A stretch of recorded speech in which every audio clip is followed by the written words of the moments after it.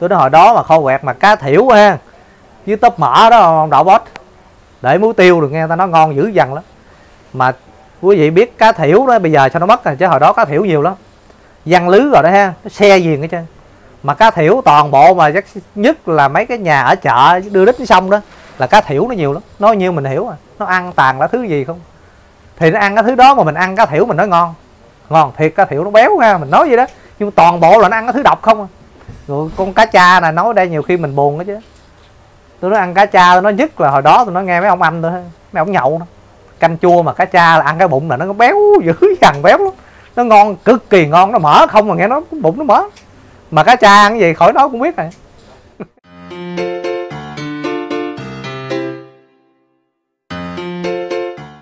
Nam mô Bổn sư Thích Ca Mâu Ni Phật. Nam mô A Di Đà Phật.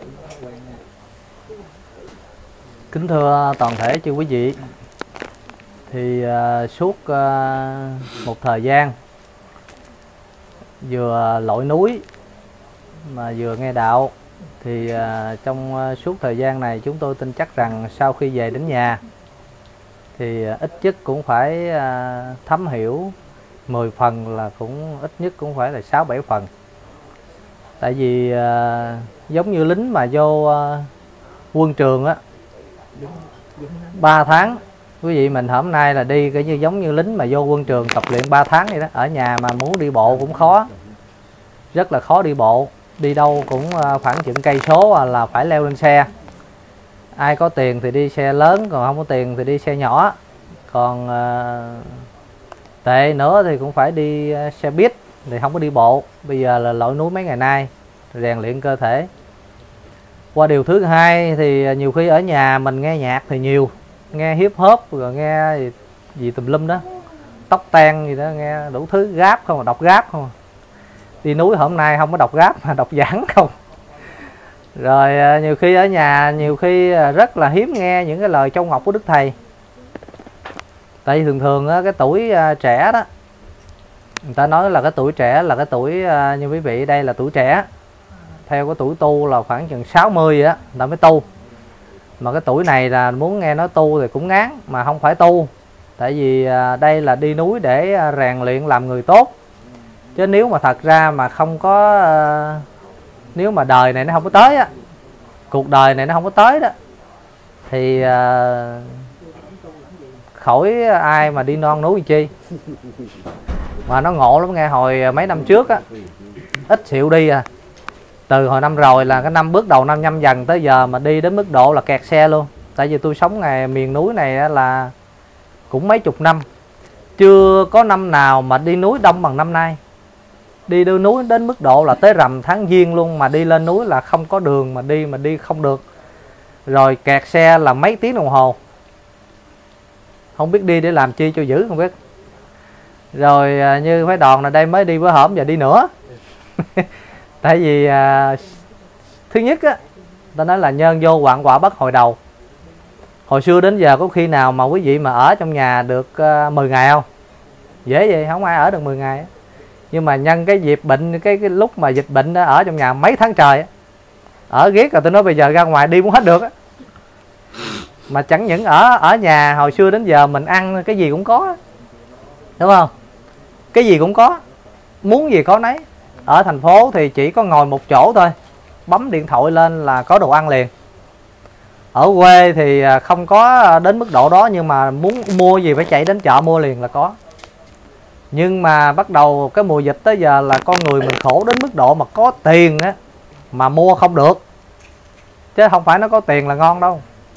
Thường thường mình nó có tiền là nó quý vậy, nhưng mà tới cái dịch bệnh đến thì có tiền mua không được. Đến đổi à, mà vàng á ha mà bán cũng như ăn trộm vậy tại vì ra ra khỏi nhà thì bị bị công an bắt. Mà ông nào mà mở cửa mà đến đổi mà có một số mấy cái clip lên đó ra trước cửa ngồi thôi là cũng bị bắt đó. Quý vị thấy không? Nhưng mà chưa đâu. Đức thầy nói là khổ giới thảm, ngày nay có mấy? Tức là không có nhiêu đó sợ mai sau á, dòm thấy bay hồn. Bây giờ có gì đâu, mình nói khổ nói khổ quá khổ rồi. Ờ, khổ à đi ra ngoài đường không được. Ăn uống không được. Rau muống bình thường không ai ăn chứ đâu có ăn đâu. Mà hồi bữa hổm lúc mà chỉ thị 16 bệnh dịch rồi đó, rau muống hai, ba chục ngàn ký. Mà ăn cộng không, đâu có đâu có lá đâu ăn. Tại vì từ ở đây mà tôi gửi lên tới thành phố là phải hai ngày. Lên tới thành phố rồi còn cộng không à. Rồi dưa leo bình thường, bây giờ ăn còn chê, còn khen nè. Bây giờ dưa leo ăn, cái dưa leo đỏ không ăn, dưa leo vàng không ăn, dưa leo héo không ăn bữa hổm mà có dưa leo ăn là nó quý, trần ngay lại khổ rồi đó rồi mì bây giờ nhiều khi bỏ lăn lóc không ăn mà bữa hổm mà tôi nói mà đi phát quà đó. 10 gói mì thôi, người ta cầm ta mừng cũng như bây giờ cho 1 triệu vậy. Thì bây giờ quý vị mình thấy đó, cảnh thảm khổ chiều mai sẽ đến, thì đức thầy nói rồi, sao văn còn triếu mến trần mê. Nhưng mà ghê hơn nữa là mắt nhìn ngoại quốc thảm thê, nam bang cảnh khổ cũng kề bên tay hiện tại bây giờ quý vị mình thấy đó ở đây mình còn ngồi đây là yên bình nè nha. Còn đi tham quan nè. Còn có đi ăn bánh xèo nè còn cũng uống nước thuốc lốt rồi ha. À, bây giờ quý vị mình thấy bên uh, hai nước bên nước ngoài mình thôi mình nói như mà cũng biết rồi. Bây giờ cả cái thành phố cả những cái tiểu bang tất cả mọi cái đều là màn trời chiếu đất. Thì thôi bây giờ đi núi chuyến này. Quý vị nên lưu ý rằng là cũng có một cái mai duyên anh em đi theo trợ đòn. Nhằm mục đích đi núi mình để làm gì? Mình hiểu vấn đề đó thôi. Chủ yếu mình là đi núi để làm gì? Vậy thì bây giờ làm sao mà sau khi mình trở về nhà, mình khỏi cần tu chi nhiều cho nó xa? Bây giờ lý do là sao mà mình ăn chay không được? Rồi lý do là sao mà mình cúng lại không được? Lý do là sao mà niệm phật không được? Là những cái điều đó là những điều cần thiết. Lý do ăn chay không được đó là tại vì à, mình à, còn khoái cái ngon ngọt mà mình quán gì mình ăn chay ăn chay được thôi. Mình nói à, bây giờ cá hay hoặc con gà vịt gì đó đi ngang mà gặp con vịt quay hay gà quay gì đó ha. Là tàu hủ hết vô nổi rồi. Thì bây giờ quán xét cái con vịt này nè. Cái con vịt này nó ở đâu? Cái con vịt này là nó ở cái nơi rất là dơ bẩn ha, rất là dơ bẩn nha rồi thức ăn của con vịt này đó, mình thấy con vịt nó ăn đi. Nó ăn ở trong toàn bộ là ăn bãi sàn nước không à. Ăn thức ăn mà nó dơ đến mức độ đó. Thức ăn con vịt á, ha, là mình không thể nào ăn được. Thức ăn con gà, mình cũng không thể nào ăn được. Cho nên mình nói thức ăn nó quá dơ. Cuối cùng rồi mình sao? Mình ăn thịt nó. Ta nói à, hỏi hở cái này mình, ai mà học không biết chữ hay gì đó, mày ngu như con bò. Thấy không? Chữ nó mày ngu như bò. Uống sữa thì uống sữa bò. Sữa bò bổ. Ăn thì ăn thịt bò. Mà ăn nó đã rồi, chê nó ngu. Mày ngu như bò. Vậy thì bây giờ quý vị mình nghĩ coi. Hỏi chứ bây giờ lý do mình ăn chay không được. Ha, bây giờ mình muốn ăn chay được mình nó quán xét. Thứ nhất là cái con vật này nó ăn chỗ dơ bẩn. Chưa nói tới con heo, người ta nói cái con heo ăn nó nó ngon. Con heo nó ở tôi nó nó ngủ á cái phòng ngủ của con heo mình ngủ có niệm, có chiếu con heo nó ngủ nó làm sao? Con heo nó ngủ nó phải dơ giấy.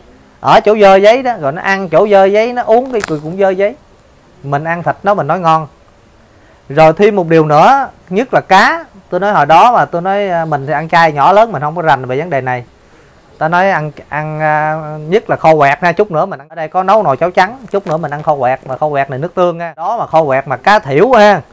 Với tớp mỡ đó, ông đậu bót để muối tiêu được, nghe ta nó ngon dữ dằn lắm. Mà quý vị biết cá thiểu đó, bây giờ sao nó mất rồi, chứ hồi đó cá thiểu nhiều lắm. Văn lứ rồi đó ha, nó xe giềng hết trơn. Mà cá thiểu toàn bộ mà chắc nhất là mấy cái nhà ở chợ đưa đít xong đó, là cá thiểu nó nhiều lắm. Nói nhiêu mình hiểu à nó ăn tàn là thứ gì không? Thì nó ăn cái thứ đó mà mình ăn cá thiểu mình nói ngon.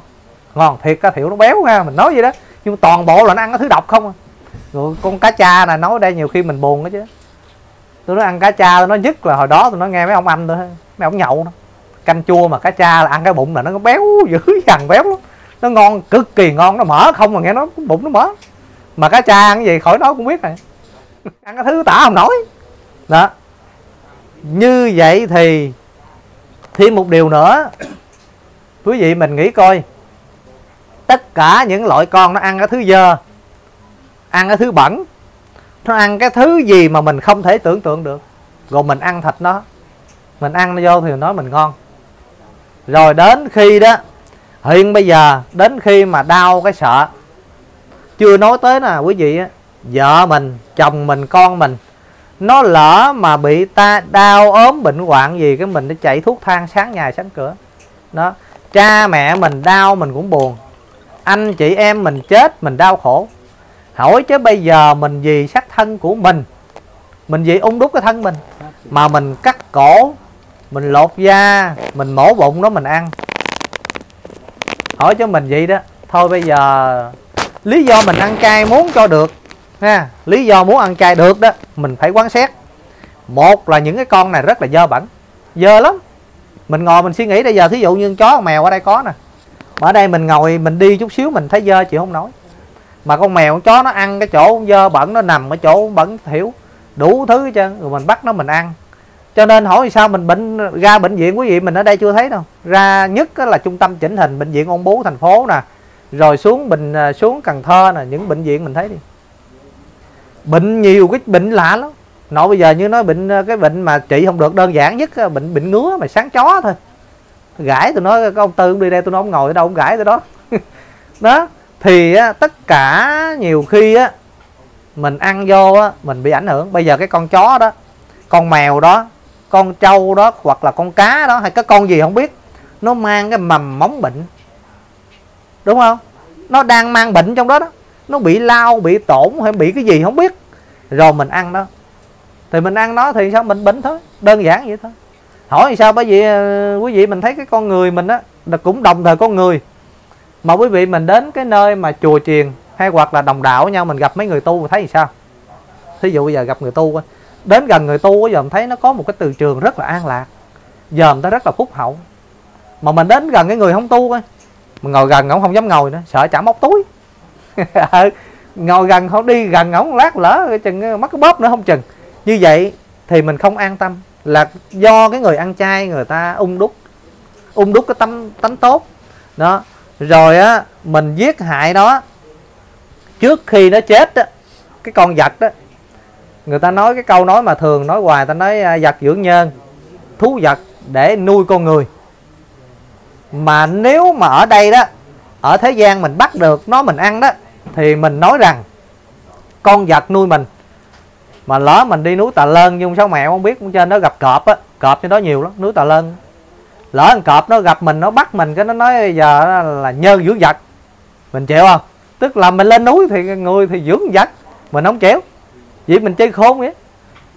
Nếu mình nói vật dưỡng nhân thì tự nhiên mình đem cái gỗ lại. Mình lấy cái gỗ mình để xuống nước, cái cá nó lợi đây, cái mình bắt ra mình ăn. Thì mình nói cái câu này vật dưỡng nhân đúng. Con vật nó sanh ra để nó nuôi con người.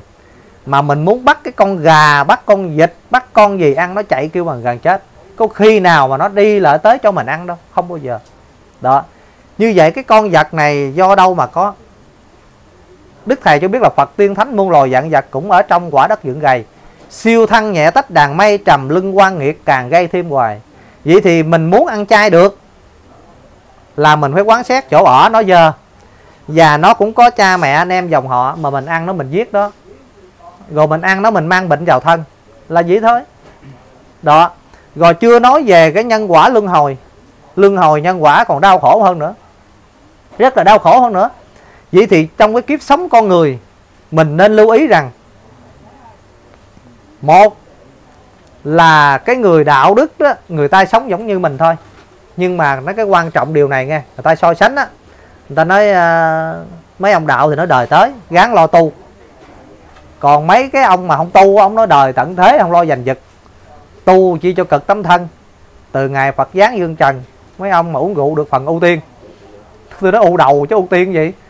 Như vậy thì bây giờ, giữa hai cái lãnh vực, một là đời, hai là đạo, tại mình à, thấy nó xa vời chứ thật ra nó cũng vậy thôi. Bây giờ mình trở thành người tốt đó, trên đời này ai cũng muốn mình là cái người có vị vị xã hội, đúng không? Ai cũng muốn mình đi ra ngoài, người ta cũng kính, cũng mến, cũng thương qua thơm, ông bướm lân la, người hiền, trai gái, trẻ già, giảng lai. Cái người hiền người ta thương, cái người mà đạo đức người ta kính. Qua thơm nhờ nhị, con người giá trị là có đạo đức. Như vậy thì tại sao mình không làm giống như người ta? Chứ con người đâu phải ai như Phật thành được, chúng sanh thành được, thánh giới phàm cũng một bản lai. Khác nhau, kẻ tỉnh người thay sai, chứ ai thì cũng như ai đủ mình. Con người mình ai cũng giống nhau thôi. Phật tánh vẫn giống nhau, tất cả mọi gì cũng giống nhau nhưng mà quan trọng là về tư tưởng của con người. Mê mũi ác hung đó thì về địa ngục mà hiền lành nhắm mắt thấy non tiên. Vậy thì bây giờ trên đời này, ai cũng muốn cho mình đẹp? Có ai muốn mình xấu không? Ai cũng muốn cho mình giàu. Ai cũng muốn cho mình danh dự uy tín hơn người. Nhưng mà ngặt mình mình mình trái hẳn lại. Mình muốn một đàn mà mình làm một nẻo. Mình muốn cho mình giàu mà không chịu bố thí. Nào, mình muốn cho mình hạnh phúc mình muốn cho mình đẹp mà tại sao tâm mình độc độc ác? Mình muốn cho mình được có địa vị trong xã hội tại sao mình không có uy tín? Tại sao mình nói một đường mình nói dốc nói láo nói hơn nói thua thì tất cả mọi cái đều đi ngược lại? Vậy thì mình hôm nay muốn cho ăn chay mà cho được. Một là chúng ta nên quán xét con vật và thứ hai mình biết rằng là nó có gia đình cha mẹ anh em. Điểm thứ ba là luân hồi. Cái luân hồi á, luân hồi là gì? Quý vị mình nghĩ coi bây giờ cái con vật nó ở đâu ra? Đâu phải hồi đó mình lúc mà mới biết đạo, hồi đó mình hồi nhỏ mới biết đạo, mình tưởng con chó nó chết. Cái nó đầu thai thành chó. Rồi con gà chết, đầu thai thành con gà. Cái đó là tư tưởng, là lý do mình chưa có nghiên cứu. Chứ thật ra đó, cái cái cõi này tại vì hiện giờ mình chỉ không được là lý do đâu có thấy ông nào nó tôi hồi xưa là ăn chó đâu mình mà chỉ, đúng không? Tại vì có những cái là mình không thể chỉ được, nhưng mà mình dựa vào đức phật, tại ngài là đã à, chứng đắc. Vậy thì bây giờ đức phật nói là con người có luân hồi hay không có luân hồi, cho nên ngày xưa ông rô đề đó, mẫu chuyện thời đức phật, ông rô đề, ông có con chó ông cưng lắm. Rất là cưng, ông cưng hơn cái người, con người nữa, tức là cưng hơn cái người ở đợ trong nhà bữa nọ ông đi rồi đức phật á đi tới chó nó sủa quá sủa. Đức phật mới chỉ nó nè hồi kiếp rồi đó bỏn sẻn tham gian cho nên kiếp này đầu thai làm chó mà còn không biết ăn năn hối cải mà lại giữ của. Con chó nó buồn nó buồn bỏ ăn ông rô đề ông về. Ông thấy con chó bỏ ăn rồi ông nói tại sao ai ở nhà quánh đập con chó đây? Quý vị mình hôm nay có nghe mỗi chuyện này chưa? Có nghe rồi thì thì mình kể chuyện khác. Chưa phải không à, chưa thì bắt đầu kể. Vậy thì ông râu đề ông kêu gia đình lại ông gia đình tất cả người ở đợi nó dạ thưa ờ, không có ai hết. Nhưng mà nhớ lại có ông cầu đàm. Ông đến ông chỉ vô con chó con chó nó nghĩ ăn. Ông râu đề ông ôm chó là ông thường phật. Ông nói bạch đức thế tôn thương ngài ông cù đàm. Ông nói cái gì mà con chó tôi nó nghĩ ăn? Ông thường tôi. Đức phật nói ta đâu có nói gì đâu. Ta chỉ nói cái kiếp trước của nó, tham gian ích kỷ bỏng sẻn cho nên phải đầu thai làm con chó để giữ nhà ông đâu đề ông còn tức thêm nữa. Ông nói đã ông nói cái vụ kia tôi chưa nói mà ông nói là thêm nữa là đức phật đó con chó là má của ông. Thưa quý vị cuối cùng sao? Đức phật nói thôi bây giờ còn dấu vàng ở đó đó lợi bư lên đi. Ba của ổng chứ. Thì iran gì quý vị con chó nó đi lợi ngay chỗ cái, cái chỗ mà nó nằm hoài đó nó bư lên thì có hũ vàng. Vậy thì bây giờ cái con vật á nó luân hồi vì nó mê đắm cái hũ vàng nó phải đà nó phải nằm đây nó giữ. Vậy thì bây giờ trong hội trường này ai mình muốn mình làm con người hay muốn thành con gì? Có bà đó mới nói à, chú ăn tương chú thành gì? Hồi đó mình mới tu mà đi núi. Tôi nói ăn tương tôi thành tương thành rồi má nói cái tạng ơi. Rồi tôi à, ăn cá tôi thành gì? Nói ông à, bà ăn cá thì bà thành gì? Ai biết tại tại giờ hồi đó mình chưa biết. Ý nói rằng cái cuộc sống con người mình sát giao đền giao, sát mạng đền mạng. Hồi đó giờ không biết bao nhiêu tội lỗi. Thì thôi, sẵn cái chiến núi này, mình muốn về ăn chay, làm ơn đó. Rất là dễ, tại mình không muốn ăn thôi. Đừng để cho đói bụng nha. Đừng để đói bụng, để đói bụng rồi thèm đủ thứ mà thiệt đó. Hiện giờ mình bữa nào mà đói bụng nó thèm đủ thứ chứ. Đừng để cho đói bụng là chúng ta ăn chay được. Vừa hơi đói đói ăn cơm, nhưng mà quan trọng hơn nữa, làm ơn, làm đồ ăn giùm cái ăn mặn tôi nói hồi đó tôi có ông anh tư, bây giờ ông chết rồi. Ông phái ăn tương lắm. Ông ăn tương á, còn bả biết làm gì không? Cá mè dinh đó bả chiên xù lên này nè. Rồi bả chân với cái gì nè? Bún tàu rồi đó. Còn ổng ở bên đây chén muối ớt đâm cọp cọp cọp, chấm dưa leo. Ba tháng này gió bay luôn ăn hết nổi. Qua hôm đây ngồi luôn. Thì chứ sao vậy? Ăn mặn đó thì mua đủ thứ. Mua đủ thứ rồi ăn chứ. Mà bắt đầu quan chay rồi cái à, hà tiện. Hà tiện vô duyên không ăn gì hết trơn á, ăn muối xả, muối ớt, muối tiêu. Nó ăn muối xả gã tội, ăn muối tiêu tiêu tội, ăn muối ớt, bớt tội. Tôi đang ăn cái kiểu này hết bữa mà bay luôn với tội gì nữa. Như vậy, muốn ăn chay được, chúng ta nên quán xét và chúng ta nên nghiên cứu kỹ rằng là phải mua đồ ăn. Sợ lưng hồi. Lưng hồi lắm, ghê lắm. Hỏi chứ giờ mình thấy hỏi sao sao nhức bị nhức đầu.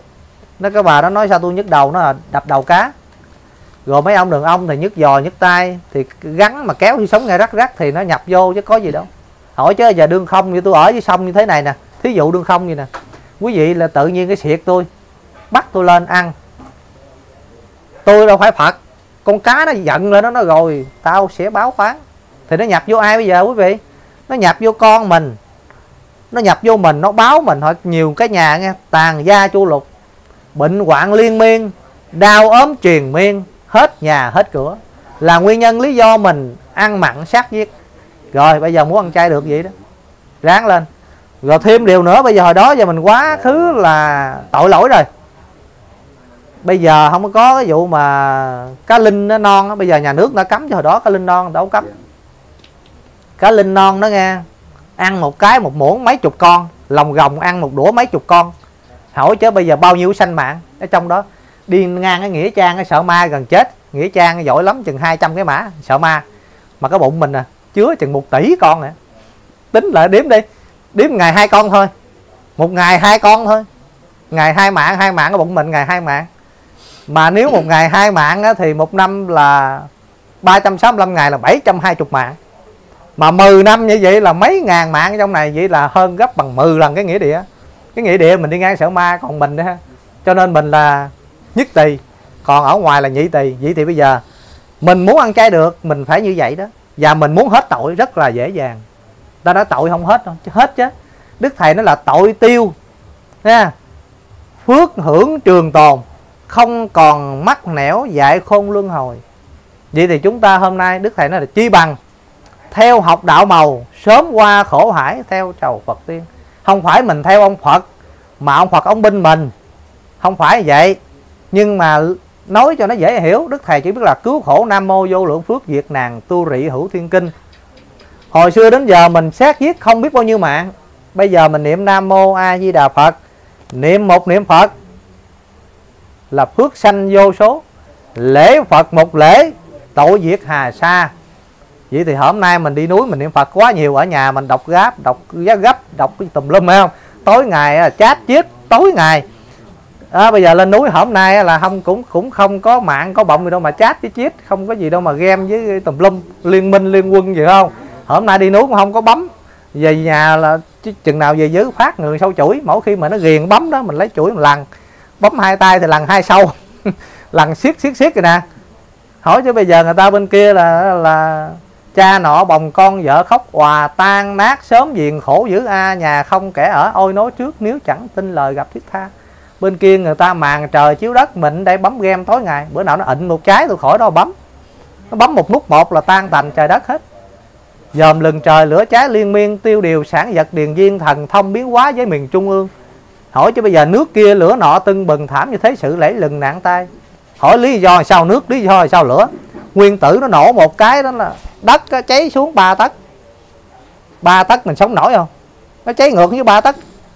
Đó rồi lửa đó ngồi ở nước đó, ngồi trên mỏ ông cát rửa tay. Mỏ ông cát là chiều cao là 252 mét. Độ chừng cái đốc so mặt nước biển nó dâng lên 252 mét mình sống nổi không? Nhưng chỉ có ai? Chỉ có văn thù mới cứu mình thôi. Văn thù bồ tát từ bi thì chèo thuyền bát nhã cứu thì trần gian. Gió đưa rước lướt sóng bờm lon rước người tu niệm xê sang thủy tình. Ai mà ta dạy chẳng dình thì sao đừng trách bất tình yêu đương. Thì cái dịp đi núi này, mình niệm phật là tiêu tội. Thấy không? Mình cúng lại niệm phật là tất cả những tội chướng của mình nó tiêu. Gọi là tội tiêu phước hưởng trường tồn. Chỉ có niệm phật thôi. Ngày xưa quý vị mình biết đó, gọi là mãn xà nhân là cái con rắn, cái con rắn này đó, là thời kỳ đức phật á. Ông vua ông nuôi con rắn, thời kỳ đức phật á nghe. Một cái nước đó, ông vua ông nuôi rắn.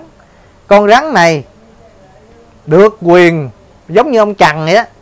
Cái coi chuyện thạch sanh lý thông rồi ông vua ông nuôi ông trần này để mà ai mà tử tội nó đem vô cho trần ăn thôi. Thì con rắn này á, ông vua ông nuôi. Ai mà tội mà tử hình, ông vua ông đem tới đó cho rắn ăn. Ai cũng vậy hết. Bữa nọ bữa nọ sao mà cái ông tu ông bắt giác ông đi ngang ngang cái hang á, giống như thật xanh vậy vô tình đi ngang vô tình đi ngang thì cái ông sư này ông đi ngang. Con rắn nó gặp. Nó phun nó phun chất độc. Mà bây giờ nó già rồi. Nó phun hết nổi rồi. Cho nên ông sư ông không chết. Ông còn nguyên à. Ông sư nên ta tu mà. Cuối cùng con rắn nó suy nghĩ. Nó nói này tại sao mà ông không chết? Ông là sao? À, vị sư này nói á ngươi làm thân rắn rất là cực khổ vất vả. Thôi bây giờ ta là một cái người quy y theo phật quy y phật, quy y pháp, quy y tăng khỏi đọa vào ba đường ác đạo. Con rắn nó nghe vậy là nó cúi đảnh lễ ba cái thôi.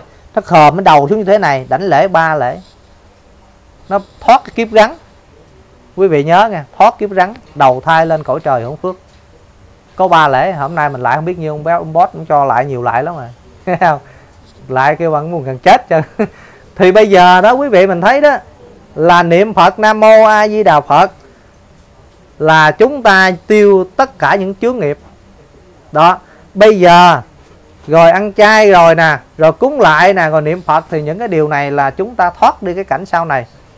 Đức thầy nói với ông biển đài nói với ngô thành bá và nói với tất cả đồng đạo. Sau này đó ha một là nước dưng tới chán ba cây dầu cây dầu bây giờ còn. Cây dầu đó đâu kể cho ờ, cây dầu là ở tại tổ đình phía sau tổ đình có cây dầu. Hiện bây giờ cây dầu á người ta đo cái chắn ba cây dầu người ta đo từ dưới ờ, đất này nè lên tới chắn ba đó là khoảng hai mấy mét. Đức thầy nói sau này nước ngập tới đó mấy ông này mới làm dấu cho đó, đó là hai mấy mét đó rồi đó là sao nữa? Rồi là thêm đó là chiến tranh nè giặc giả nè. Rồi mấy ông này nó dạ thưa bạch thầy gì trốn sao thầy? Thầy nói trốn gì nữa? Đến chừng đó bốn phương có giặc. Trốn ở đâu cái gì khắp hoàn cầu, thiết thiết tha tha. Dậy sớm mau kiếm chữ ma ha thì phật cứu khỏi nơi khói lửa. Mà tưởng nhớ phật như ăn cơm bữa, giọng cửu quyền sớm tối mới màu. Vậy thì chỉ có cúng lại. Đức thầy nói đó, sau này nước dưng lửa cháy ra ngoài bàn thông thiên đó, mà mà trốn mấy ông kia nó dạ thưa, bạch bày thầy, bàn thông thiên có cái miếng đó không? Sao chung chốn thầy? Bơm mà bừa xuống cái là banh hết còn vậy thầy. Thầy dạy nó ẩn ý cho mình cúng lại. Vậy thì đi núi á, về chuyến này là sẵn cái cơ hội này. Hỏi chứ bây giờ mình ăn nhậu, chơi bời đủ điều, làm tội lỗi, làm cho mọi người đau khổ, làm cho cha mẹ hết vui không vui, làm cho tất cả mọi người đau khổ mà mình không sợ người ta cười mà giờ tu niệm người ta sợ người ta cười mà nó đi ngược dòng đời là mình đi nẻo đạo người ta ăn mặn thì mình ăn chay người ta nói dai đó thì mình nhẫn nhục người ta ham thị dục đó mình ăn phận nghèo người ta dắt chiều người ta đi o mèo thì mình đi cầu nguyện thấy không người ta dắt chiều người ta súng lại người ta cầu nguyện đó thì mình thích tham thiền người ta nhiều chuyện á mình thích tham thiền người ta ham tiền đó thì mình ham công đức người ta thích phiền phức thì mình thích yên vui người ta tu lùi thì mình tu tiến người ta làm biến thì mình siêng năng người ta lăn xăng thì mình đầm thấm người ta húp nước mắm thì mình làm, làm ơn mình húp nước tương. Người ta à, lợi ta bà thì mình về tây phương. Nó đơn giản vậy thôi. Vậy thì bây giờ đi núi về mình phải thay đổi hoàn toàn. Một là chúng ta phải nên ăn chay. Thứ hai là phải cúng lại sáng chiều để chi vậy? Để tránh đi cái thảm họa sau này. Đức thầy cho biết là ta đây tuy không thể đem phép huệ linh mà cứu an tai họa chiến tranh tàn khốc. Do loài người tàn bạo gây nên bây giờ khỏi nói gì về cái vấn đề về thiên cơ thời cuộc. Trên núi ở trên đài bắt lên là thấy bắt lên là thấy. Mình thử nghĩ đi. Mà mắt nhìn ngoại quốc thảm thê thì sao? Thì nam ban cảnh khổ cũng kề bên tay thôi bây giờ không biết có chiến sao hay không. Mình không biết mình bữa nay còn sống ngày mai yên bình hay không. Ai mà biết đặng ngày mai, ngày nay yên tịnh ngày mai thảm sầu. Vậy thì ở đây chúng ta nên phải cố gắng mệt nổi như thế này, mà cũng phải là có cái duyên để đi, là nguyên nhân này đó là cho quý vị biết rằng thật ra đây là giống như trong đoàn mà gia đình mới nói nha. Cái thời buổi hôm nay là nó kịp giờ, kịp lúc lắm, kịp lắm. Chứ giống như mười năm năm, mười mấy năm trước, hồi đó thì nó còn xa xa lắm. Còn bây giờ nhiều khi á, quý vị mình về nghiên cứu chẳng những kinh giảng bây giờ niệm phật được, ăn chay cũng lại niệm phật rồi. Bây giờ làm ơn bắt mạng lên coi thời sự quốc tế. Thời sự của việt nam thì tự người ta nói hết cho mình nghe. Rồi mình thấy như vậy đó, nó đúng với câu đức thầy hay không? Đức thầy cho biết sau này đó, gọi là cuộc biến chuyển thiên cơ rất gấp, khuyên chúng sanh hãy ráng tu hành. Vậy thì chỉ có tu thôi. Vậy thì trong buổi tối hôm nay chia sẻ quý vị đôi điều. Cũng phải cố gắng là mình ăn chay cho được, cúng lại cho bằng được, và sau đó niệm phật để tiêu trừ cái nghiệp tội của mình. Để trong tương lai mai hậu, đức thầy cho biết là ước trăm họ nhẹ mình có cánh đồng bay về cực lạc một đàn. Người ta về bên kia an dưỡng. Còn mình á, thì ngồi ở đây mà an hưởng cái ông năm chèo. Đó, năm chèo miệng rộng răng to, ai mà không giữ thì vô kho năm chèo mình thấy nội chiều mấy anh em dẫn đi mình thấy ớn sống. Người ta hỏi mình ăn chay chi nó thôi tôi sợ năm chèo quá tôi ăn chay nhiêu được rồi. Thôi kể mỗi chuyện ngắn thiệt là ngắn một phút thôi 10 giây thôi. Cái ông bác tư thắng này đó là ông tu ông khuyên con gán tu nè, gán tu nè, để ông năm chèo ăn thịt chết. Cái à, bữa đó ông thèm mặn ông gặp mà cúc mà nướng nó thơm đi ngang nó thơm nứt mũi. Ông hỏi mười à mày ăn tương lâu vậy chứ mày có thèm mặn không? hỏi nhỏ vậy, nếu mà mày thèm tao, mày quất luôn. Ừ cái thằng nhỏ nó nói, không được cha. Hỏi sao ạ? Ăn cúc chứ ông năm chèo cũng ăn chết ông suy nghĩ thằng nhỏ này nó chỉ biết ông năm chèo thôi, mà nó ăn chay ngon. Vậy thì bây giờ, mình là người biết đạo, mình đã lớn tuổi nữa, cái thằng đó nó có mười mấy tuổi à. Mình giờ quá lớn tuổi rồi, ăn cái gì cũng biết hết. Ăn cái gì nó cũng già, ăn cái gì cũng đau, ăn cái gì cũng chết. Thôi giờ mình ăn chay để cho có phước và xin chúc cho toàn thể quý vị trong buổi tối ngày hôm nay luôn luôn cố gắng ăn chay, cúng lại và niệm phật. Và đến đây xin dứt lời. Nam mô bổn sư thích ca mâu ni phật. Nam mô bổn phật.